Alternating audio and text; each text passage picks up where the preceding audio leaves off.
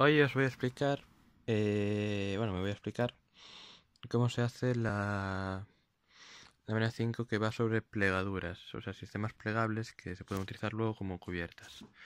Entonces, lo primero que vamos a hacer, como siempre hay que hacer, es leer el, leer el enunciado. Entonces, aquí te pone eh, aplicaciones arquitectónicas de los proyectos de sistemas plegables, o sea, lo que dije yo. Vale, entonces te pone a partir del diseño de un sistema plegable. El sistema plegable se tiene que hacer primero, entonces yo lo hice, ya lo tengo hecho aquí, o sea, cómo queda, así queda muy, muy bonito. Luego, ahora os enseño cómo se hace, pero primero seguimos leyendo. Y ahora lo que nos piden es representar en sistema diédrico las proyecciones del sistema plegable suponiendo unas condiciones de apoyo que se especifican en la clase práctica. Eh, lo de las condiciones de apoyo se refiere a la abertura del ángulo. Que como veis, claro, aquí, aquí, pues, eh, esto puede variar de, de abertura. Entonces, varía, el ángulo que hay aquí en el medio. Entonces, eh, no puede ser ni muy abierto ni muy cerrado. Creo que el máximo estaba en 90, eh, como se ve, se ve aquí. Eh, pero vamos, se puede poner 60, o sea, entre 90 y 60 se podría poner. Vale, ahora os voy a explicar cómo, vamos a cómo se hace este invento. Que es con una lámina, recomendamos de cartulina para que no se rompa. Entonces, con una lámina de cartulina eh, hay que hacer estos dibujos.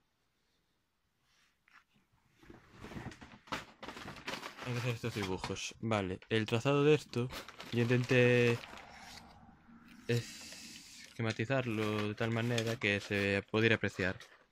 Empezamos con dividiendo la hoja en en realidad es en dos partes, porque la línea importante es esta del medio. Estas son verticales y diagonales.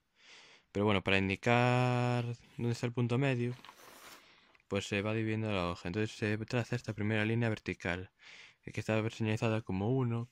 No estoy seguro si se ve, pero creo que sí. Eh, vale, como 1. Y entonces lo que hacemos ahora, porque hay, hay varios pasos. Entonces fui esquematizando de la primera línea que sale vertical, la segunda y las terceras. Entonces ahora unimos por diagonal el punto de arriba con el de abajo de esta otra diagonal, que claro, esa diagonal que ya hay porque es el propio papel. Entonces se unen en forma de X y te sale...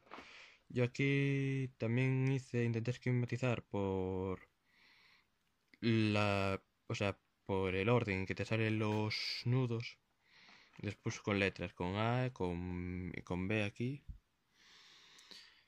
Entonces, eh, uniendo estos dos, te, te, va a salir el punto donde tiene que salir la otra eh, vertical, que es la 2. En el otro lado exactamente igual, uno si te sale la 2, y ahora, teniendo la 1 y la 2, y la 2, bueno, la 1 y la 2, eh, unes por los puntos sí, por los puntos medios este del medio y aquí de arriba y haces otras 2x eh, que estas 2x te van a indicar dónde va a salir las terceras líneas. Lo mismo para esta otra. Entonces haces esta x y te sale esta tercera línea. Y así sería el trazado. Entonces ahora lo que hay que hacer es plegar, por eso son sistemas plegables. Lo importante es, eh, como ves hay verticales eh, y eh, diagonales. Entonces, las verticales tienen que ir dobladas en un sentido y las diagonales en otro. Y aquí vais a ver hacer el encamado porque hay un movimiento final para unirlo unirlo todo que es un poco difícil de hecho a ver si a ver si me sale Entonces se van, yo voy a doblar las verticales por, por dentro y las diagonales por fuera. Entonces bueno, esto va a llevar su, su tiempo. En fin. Yo el sistema que que llevé en clase utilicé el rosa porque bueno, el rosa es fabuloso. Y aquí en el vídeo utilizo verde porque bueno, representa esperanza. Entonces esto se va doblando. Intentad... Cuanto mejor lo dobléis, pues mejor queda. Yo aquí lo voy a doblar un poco a lo rápido, no voy a mentiros. Para... Porque bueno, yo el sistema plegado ya lo tengo. Entonces es solo para explicaros cómo va el rollo. Como veis todas las verticales estoy doblando en el mismo sentido que es hacia, hacia adentro.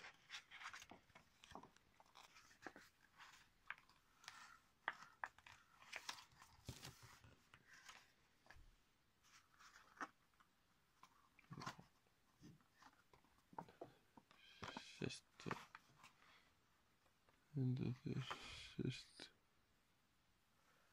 Entonces esto, vale. Quedaría una cosa... Quedaría una cosa...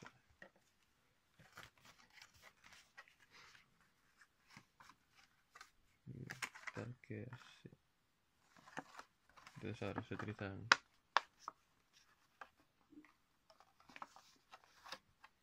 El toque final que no estoy realmente seguro de ser capaz de de realizarlo, que es unir. Vale, terminado de bien, bien doblar, asegurarme de que todo esto estaba doblado como tenía que estar doblado, que es como os comenté, como montaba. Y vamos al paso final. También me aseguré de doblar estas esquinitas, de irlas juntando, que es un poco la, la parte más que se hace más complicada, porque están como los... Por fuera y el por dentro juntos. Entonces, claro, hay que decirles a dónde tienen que, ir. Una vez, o sea, la recomendación es eh, empezar a doblar el doblado final, que es el empaquetamiento, pues juntando la. O sea, el doblado final es realmente, una vez doblado esto, pues juntarlo. Depende de cómo lo dobles, de que elijas si por fuera o por dentro, pues te va, a salir por una cara o por otra. Yo recomiendo que hagáis justo al revés de como os he mostrado en el vídeo para que os salga, os salga el dibujo y os podáis guiar. Que si no aquí, pues es un poco, claro, el dibujo está por aquí. Nada, vais doblando por aquí las pestañitas. Y ahora lo que se hace es eh, simplemente juntar. Se aplasta, o sea, es juntar pestañas, se dobla ahí, se dobla, entonces dadle, dadle con fuerza, aplastadlo si, si tal, con cariño, pero con fuerza. Entonces, bueno, luego ya sale el acordeón. Entonces, bueno, ya tenemos el rosa y el... El rosa es el mío y el verde, verde esperanza para explicaros. Poco de lado y voy a seguir con el rosita. Mira qué mono. Entonces ahora vamos a dibujar eh, la parte en, en el plano. Entonces, ahora esta parte es bastante rápida de explicar. Que es, eh, vale. Por ejemplo, aquí los problemas son, vale, tú empiezas con 90 grados. 90 grados en este caso, luego podéis con 60 y con los que queráis.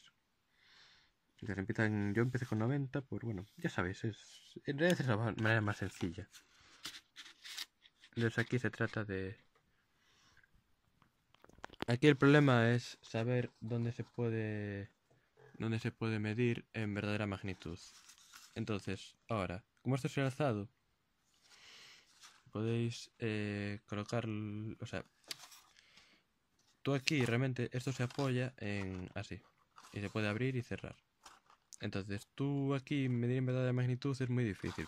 O sea, esto lo bueno que tiene es que tú ya sabes cómo te va a quedar las cosas. el, y la blanda también. Pero no sabes qué relación de tamaño tienen entre cada una en el dibujo. Es aquí, por ejemplo, para medir esta distancia, tú no sabes en principio si se puede medir aquí porque va a estar en verdad de magnitud o no.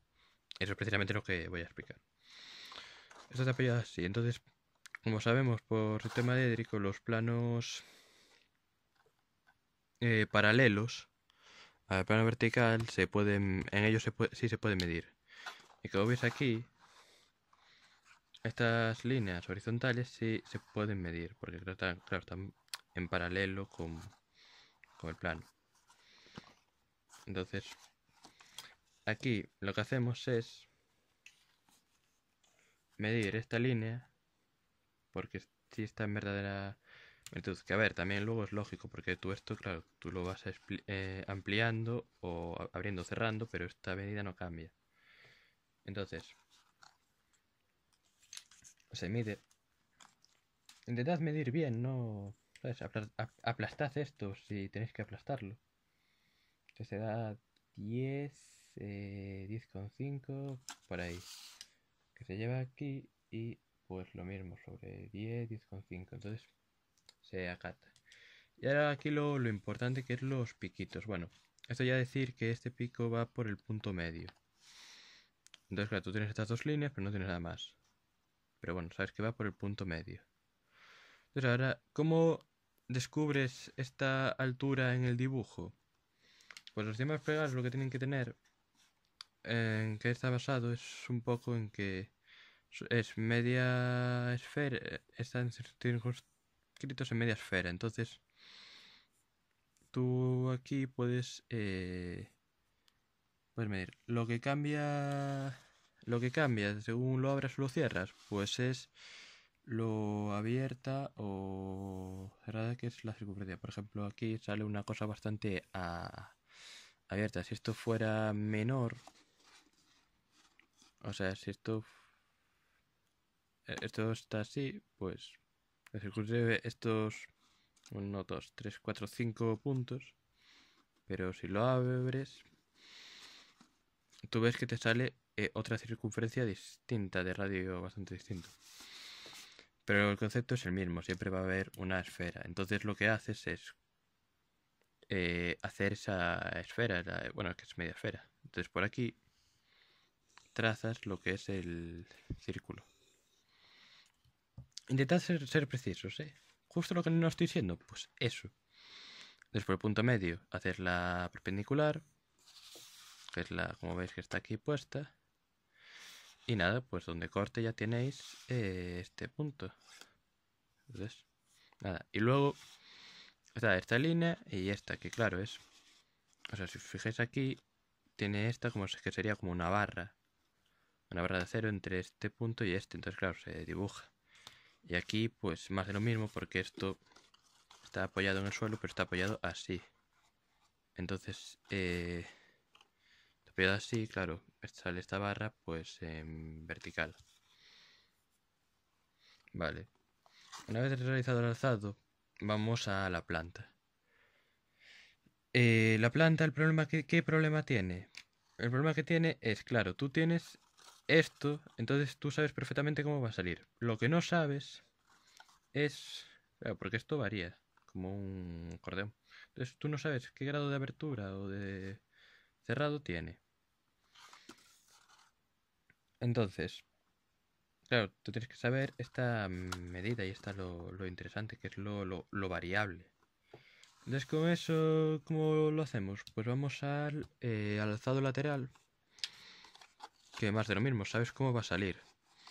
Como ya tienes el otro alzado hecho, sabes por dónde van a ir los puntos, o sea, sabes la altura.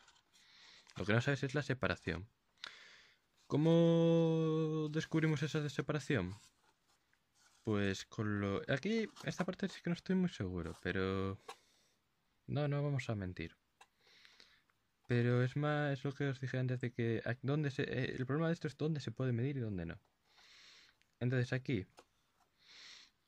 Claro, tú tienes... Eh, esto, se puede medir en las líneas verticales. Entonces, claro... entre esta línea vertical y esta, trazas aquí, que es, o sea, es realmente lo, un poco la separación. Entonces la, aquí la mides, mídela bien, por favor, que es 3,5. Entonces ahora aquí, como sabes la altura de esta, que es esta, y de esta, bueno, aquí esta línea la haces donde, donde quieras, la línea inicial. Pues lo que puedes llevar es ese 3,5 mm, de separación y te eh, sale. Dependiendo de lo que lo hayas eh, abierto o cerrado, pues claro, te va a salir una altura mayor o menor. Entonces, bueno, eso es variable. Entonces, una vez conseguido este punto, pues ya el trazado es bien simple. Porque sencillamente lo, ves. O sea, esto está apoyado en el suelo. Y entonces ya, eh, ya se ve. esto está, a ver, si, a ver que se enfoque. Esto está apoyado en el suelo. Como veis. De hecho ya veis así que, qué es lo que va a salir. Y bueno, teniendo esto, pues ya trazas el dibujo. Aquí, ¿por qué lo hemos dejado así y no más grande? Porque, a ver, ya para empezar, estos sistemas de plegadura son infinitos. O sea, ya en el, dibujo inicial, si quieres añadirle más cosas, simplemente añades más. Vas añadiendo más.